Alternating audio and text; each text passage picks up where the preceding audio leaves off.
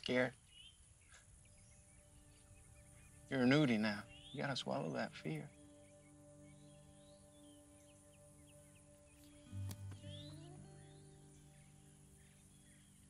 For what it's worth,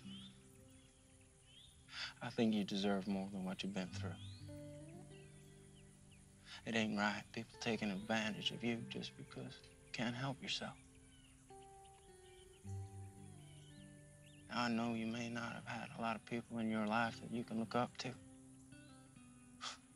Hell, I ain't telling you to look up to us. I just want you to know that we're gonna do everything we can to keep you from getting hurt.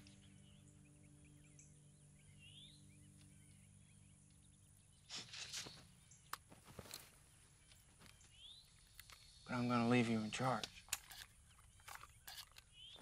My new lookout.